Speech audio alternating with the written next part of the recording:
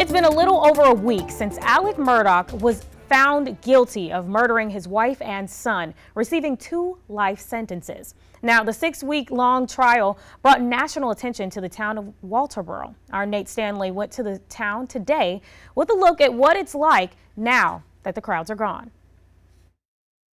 Uh, feels pretty much back to normal. It really does. A somewhat forgotten feeling for Mandy Burdick. She's the co-owner of Twig, a shop along Main Street in Walterboro, South Carolina. She says her store became a common tourist spot for those who couldn't make it to the court.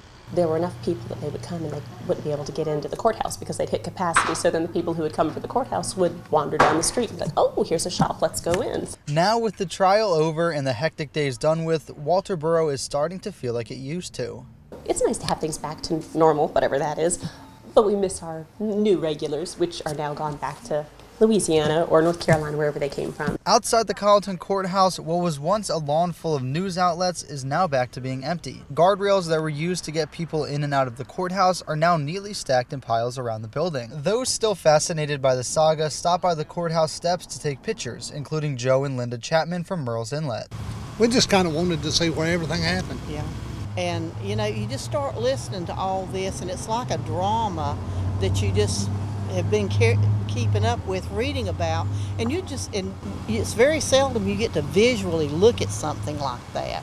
So when you got the opportunity, you just come see, hey, let's go look at what happened. After the courthouse, they made the 30 minute trip to the Murdaugh's Moselle property in Colleton County. Throughout the afternoon, dozens of cars stopped by the gates to take pictures or just visit the site of the crime. Nana Smock and her sister drove by to take in the eerie feeling of being so close to the scene. Was I was just curious to know where to where it happened at. I told my sister spooky, kind of scary, isn't it? As the sun was setting, fewer cars rolled through, and neighbors eventually started asking passerbys to leave. This man was seen putting up flags and caution tape warning people not to cross into the property.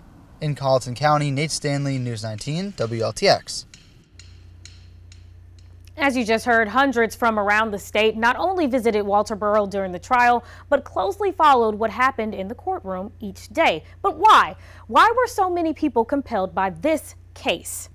We spoke with some local attorneys in the Midlands to get some answers. They say the level of power and influence the Murdaugh family had over Walter Walterboro plays a huge role.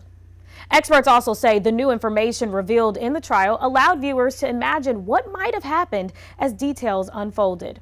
Other lawyers argue there's still a lot of attention toward the case because of how much information remains unclear, like the full story surrounding Murdaugh's attempted suicide. Right now, Murdaugh is in prison serving two life sentences. His legal team filed an appeal asking that his murder convictions and sentences be overturned. It's unclear how long the appeal process could take. To find more coverage on this trial, you can visit our website, WLTX.com.